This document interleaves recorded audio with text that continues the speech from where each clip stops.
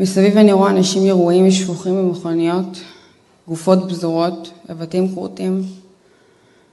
באותה שנייה מתה ילדה בת 21 שהייתי ולא תשוב לעולם. בעוד רגע יחטף ואהיה שבויה, פצועה, מושפלת. מכונית עם שבע מפלצות חמאס חוטפ... חוטפת אותי באלימות. אני פצועה ועמומה. הם מושכים אותי מהשערות ובשאגות שמחה מובילים אותי לעזה. חמישים ימים יושב מולי מוסטפא, החוטף שלי, עם רובה מכוון לפנים. בעד הפצועה שלי מכניסים צינור מתחת לקיבוע. אני לא מקבלת טיפול ולא משככי, ולא משככי כאבים. אני מקבלת בקבוק מים אחד לימים ארוכים. פעם בכמה ימים פיתה יבשה. אני לא מתקלחת אפילו פעם אחת. מפעילים עליי טרור פסיכולוגי. אני כבר לא ילדה תמימה. אני בחורה צעירה שרק רוצה לחיות. שלא מתכוונת להישבר ורוצה לחזור הביתה. ימים ארוכים אני לבדי עם מחבל אחד בחדר, בלי אוויר. בחוץ הפגזות שמרעידות את הקירות, ויש לי רק את עצמי. יהיה בסדר, מיה. את עוד תחזרי הביתה לאימא ולאחים שלך, אני לוחשת לעצמי.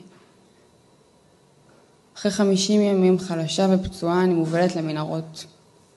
שעתיים של הליכה, מחבל חמוש מקדימה, מחבל חמוש מאחור. שישים מטר מתחת לאדמה. אני מוכנסת לכלוב. אין אוויר ואין אור. כלוב בגובה מטר וחצי. אני פוגשת עוד חמש בנות צעירות. חמישים מטר וחצי. סליחה. כל אחת בסיפור החטיפה האכזרי שלה. חמישה ימים אנחנו עוברות בכלוב החשוך עם שני שומרים חמושים שמתחלפים כל 12 שעות. אני מנסה לעודד אותן. אני מבטיחה להן שתכף נצא. אנחנו פצועות ועמומות ממה שקרה לנו. עד לפני כמה שבועות היינו ילדות תמימות. ביום החמישי מוציאים אותי. אני מספיקה לחבק אותן ולהבטיח להן שמחר גם הן יצאו.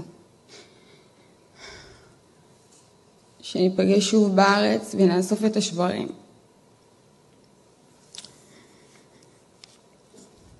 עברה שנה, אני כאן בגופי, אבל התמימות שלי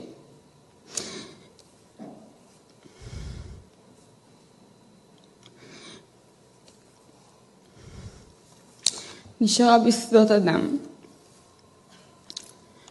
והלב שלי נשאר חטוף בעזה. עם חמש נשים צעירות שעדיין מוחזקות שם, מעונות ומנוצלות. בלי אוויר במרתפי הגיהנום. אני עומדת היום מולכם, אני כבר לא ילדה. אני אישה חזקה שלא תנוח עד שכולם יחזרו ממרתפי הגיהנום. תעצמו רגע עיניים.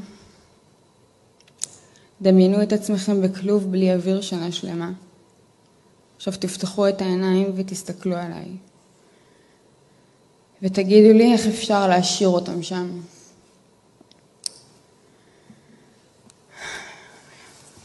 תודה שהקשבתם.